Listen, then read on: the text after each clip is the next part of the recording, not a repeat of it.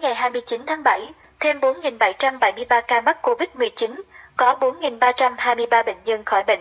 Bản tin dịch COVID-19 tối ngày 29 tháng 7 của Bộ Y tế cho biết có 4.773 ca mắc COVID-19. Trong đó, thành phố Hồ Chí Minh có 2.877 ca, tổng số mắc trong ngày là 7.594 ca, có 4.323 bệnh nhân được công bố khỏi bệnh trong ngày. Thông tin các ca mắc mới, tính từ 6 giờ đến 18 giờ 30 phút ngày 29 tháng 7 trên hệ thống quốc gia quản lý ca bệnh COVID-19 ghi nhận 4.773 ca mắc mới. Trong đó một ca nhập cảnh và 4.772 ca ghi nhận trong nước tại thành phố Hồ Chí Minh 2.877, Bình Dương 738, Long An 320, Đồng Nai 166, Đồng Tháp 142, Bà Rịa, Vũng Tàu 133, Bình Thuận 63, Hà Nội 58, Đà Nẵng 54, Phú Yên 37, Bình Phước 35, Cần Thơ 33, Trà Vinh 18, Hải Dương 10, Thừa Thiên Huế 10, Quảng Nam 10, Bình Định 8, Đắk Lắk 7, Vĩnh Phúc 6, Thanh Hóa 6, Hậu Giang 5, Lạng Sơn 5, Phú Thọ 4, Cà Mau 4, Hà Tĩnh 4, Kiên Giang 3, Ninh Thuận 3, Nghệ An 3, Lâm Đồng 2, Đắk Nông 2, Hà Giang 2, Bạc Liêu 2, Ninh Bình 1, Quảng Ngãi 1 trong đó có 949 ca trong cộng đồng.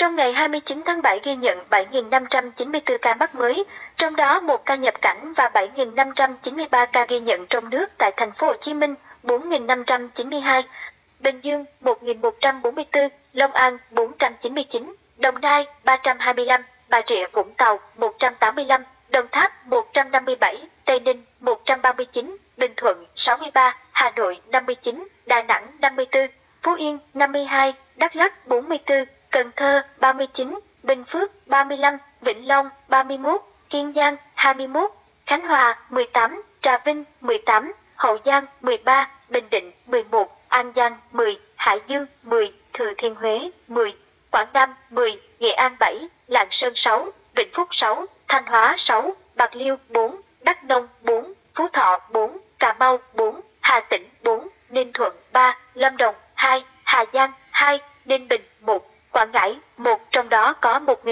1.536 ca trong cộng đồng. Tình hình dịch COVID-19 tại Việt Nam, tính đến chiều ngày 29 tháng 7, Việt Nam có 128.413 ca mắc trong đó có 2.208 ca nhập cảnh và 126.205 ca mắc trong nước. Số ca mắc mới ghi nhận trong nước tính của đợt dịch kể từ ngày 27 tháng 4 đến nay là 124.635 ca, trong đó có 29.006 bệnh nhân đã được công bố khỏi bệnh, có 5 trên 62 tỉnh. Thành phố đã qua 14 ngày không ghi nhận trường hợp mắc mới, Yên Bái, Điện Biên, Quảng Ninh, Bắc Cạn, Nam Định. Có 9 tỉnh, thành phố không có lây nhiễm thứ phát trên địa bàn Lào Cai, Ninh Bình, Con Tum, Hà Giang, Sơn La, Lai Châu, Hòa Bình, Tuyên Quang, Quảng Trị. Tình hình điều trị 4.323 bệnh nhân được công bố khỏi bệnh trong ngày 29 tháng 7. Tổng số ca được điều trị khỏi 31.780 ca. Số bệnh nhân nặng đang điều trị ICU 346 ca. Số bệnh nhân nguy kịch đang điều trị ECMO 19 ca. Tiểu ban điều trị Ban chỉ đạo quốc gia phòng chống dịch COVID-19 thông báo có 233 ca tử vong do COVID-19, số 631 gạch ngang 863 từ ngày 19 đến ngày 26 tháng 7 năm 2021 tại 7 tỉnh, thành phố sau.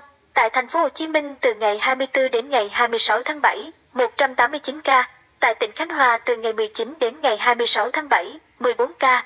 Tại tỉnh Long An từ ngày 25, 26, 7, 10 ca. Tại tỉnh Đồng Nai từ ngày 23 đến ngày 26 tháng 7, 8 ca. Tại tỉnh Bến Tre từ ngày 20 đến ngày 25 tháng 7, 6 ca. Tại tỉnh Vĩnh Long từ ngày 20 đến ngày 26 tháng 7, 4 ca. Tại tỉnh Bình Dương từ ngày 20 đến ngày 22 tháng 7, 2 ca. Tình hình xét nghiệm Trong 24 giờ qua đã thực hiện 112.468 xét nghiệm cho 316.424 lượt người. Số lượng xét nghiệm từ ngày 27 tháng 4 năm 2021 đến nay đã thực hiện 5 triệu 711.291 mẫu cho 16 triệu 529.067 lượt người.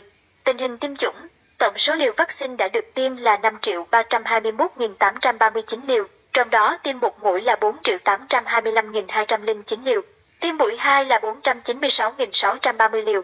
Những hoạt động của ngành y tế trong ngày, Bộ Y tế tổ chức đoàn công tác kiểm tra công tác phòng chống dịch COVID-19 tại thành phố Hồ Chí Minh ngày 28 đến ngày 29 tháng 7 năm 2021. Trong đó sẽ thành lập 3 trung tâm hồi sức tích cực, mỗi trung tâm 500 giường bệnh do ba bệnh viện Việt Đức, Bạch Mai và Trung ương Huế điều hành.